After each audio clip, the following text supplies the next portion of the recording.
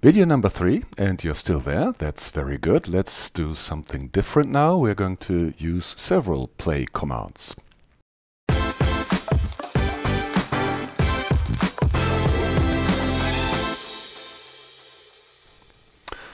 We'll use the beautiful Kalimba synth for that. Kalimba. You see the auto-completion. I'm not typing that fast, but in many occasions Sonic Pi has an auto-completion that helps you type ahead and type faster. That's quite interesting when we get to live coding later on.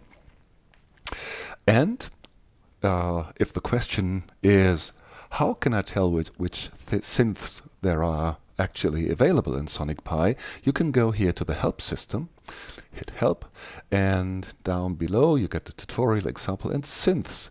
And I already highlighted Kalimba, which is one of the synths that you can see. For the time being, that would be the list of synthesizers available in Sonic Pi and uh, later on we will go into the details here on the right side with the options.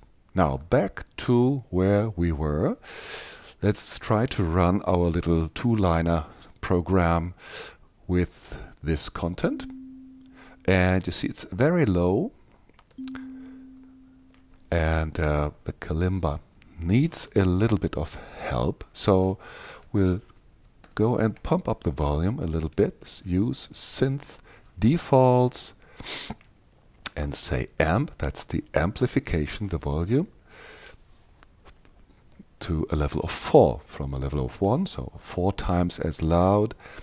Uh, there's a logarith logarithmic thing about it. It's not 4 times as loud perceived by us, uh, but the signal is 4 times as high. So we get it a little bit louder. And Probably you can hear it. Okay, so that would be that. So we add two more notes now, like a, for example, play 64. Uh, for those of you who do know musical notes, that one here is a C4 and that one here is an E4. And we add another one, which would be the play 67 or the note 67, MIDI note 67, which is a G, G4, sorry, not a G, a G.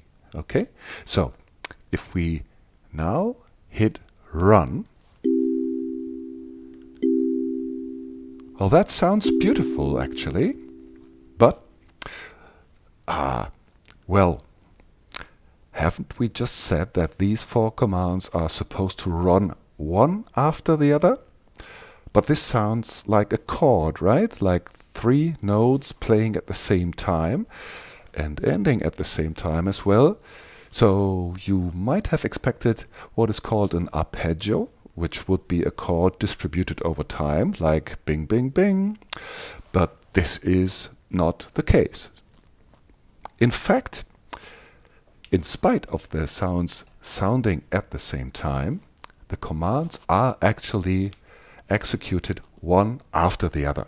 So first line 1, to line 2 is empty, then line 3 sets the uh, volume, line 4 is empty, and then one after the other, lines 5, 6 and 7, three play commands. But we need to look a little bit more into detail what the play command actually does.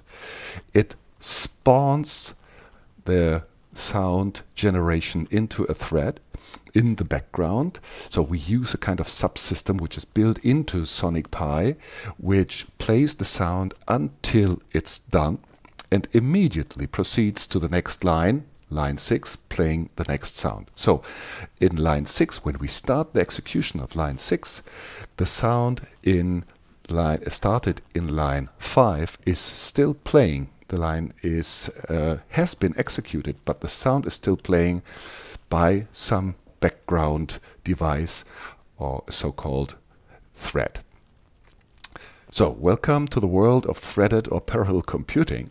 We're not doing it this quite ourselves. It's a subsystem that's actually doing it, but we have all the after effects, right? So we have to deal with things executing at the same time.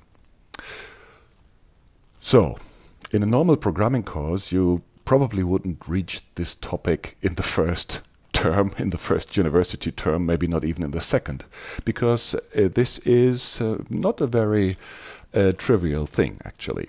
But on the other side, uh, we need it in music. So only one sound at the time, that would be a very dull kind of music.